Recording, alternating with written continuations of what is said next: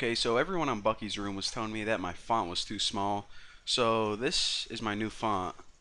Hopefully it isn't too big. It's kind of big when I'm just, you know, kind of like looking at it on the screen. But hopefully, um, I think a lot of you guys had smaller resolution monitors. So even when you stretch it out to 1080, the video was still kind of small. So hopefully um, that's a good size. If it's not, then just leave a comment and I'll read them and adjust it appropriately.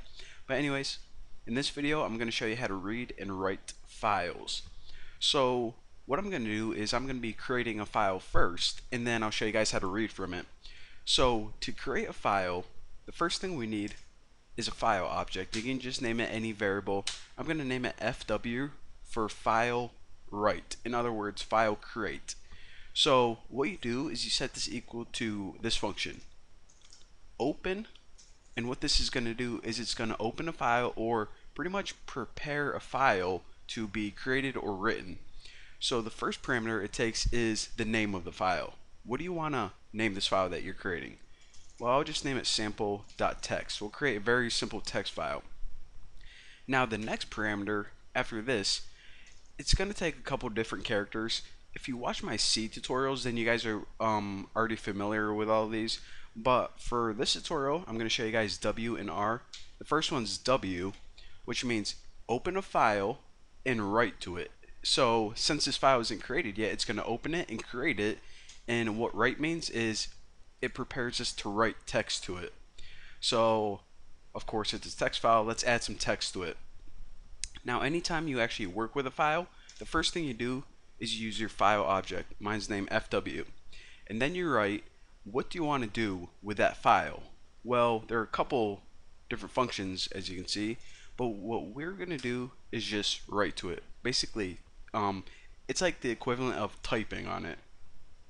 Simple enough. And of course, what do you want to write? So, writing some stuff in my text file. And also what you can do, just like whenever you print out a string, you can use a special character backslash n, and that will move to a new line on your file. Pretty sweet. So now, since we're on a new line, we'll go ahead and write something else. fw, which is our file, sample text, and write something else on this line. And we'll just write like I like. Can you type Bucky? Bacon. And actually, we could just put this all on one line, but I just wanted to uh, demonstrate that. Um, I don't know. This is just a cool way to do it. All right. So whenever we're done working with a file, what we need to do is we need to close our file object. So fw.close.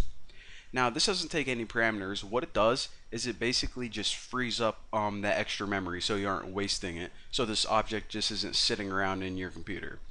So now, as you can see, oh yeah, by the way, I deleted that image from the last tutorial just because, I don't know, it was making some clutter. So right now, whenever we create this file by running this program, you're going to see a new file appear right here. So keep your eye on this whenever I run this.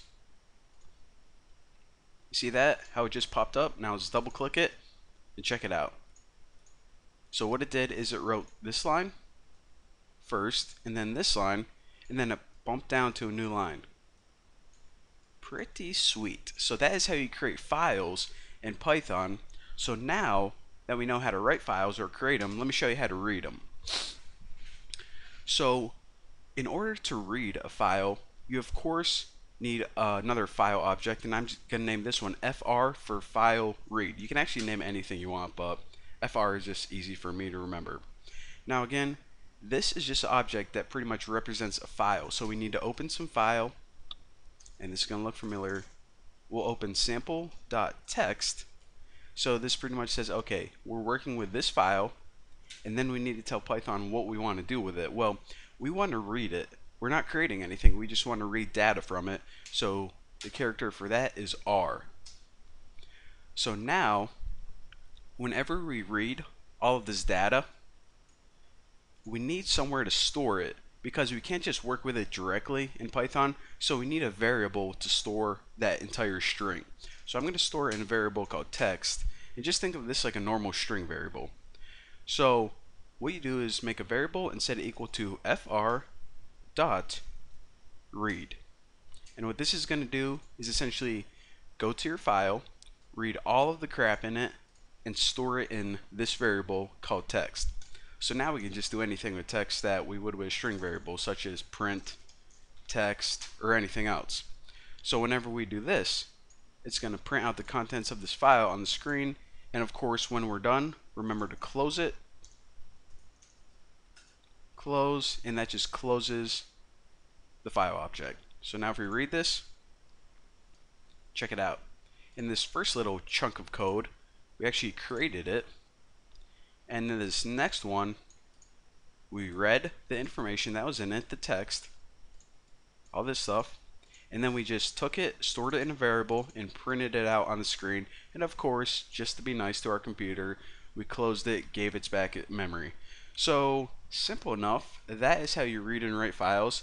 And in the next um, video, what I'm going to show you guys how to do is actually read a text file from somewhere on the internet. And this is actually cool whenever you're like making a bot or a web crawler and you want to crawl a bunch of web pages, get the links and store them in a text file. I'll show you guys how to do that. It's like a really simple version of um, we're going to be making like a really simple version of Google eventually. And I mean really simple, not anywhere that complex. But anyways, I'll stop rambling now. I'll see you guys later.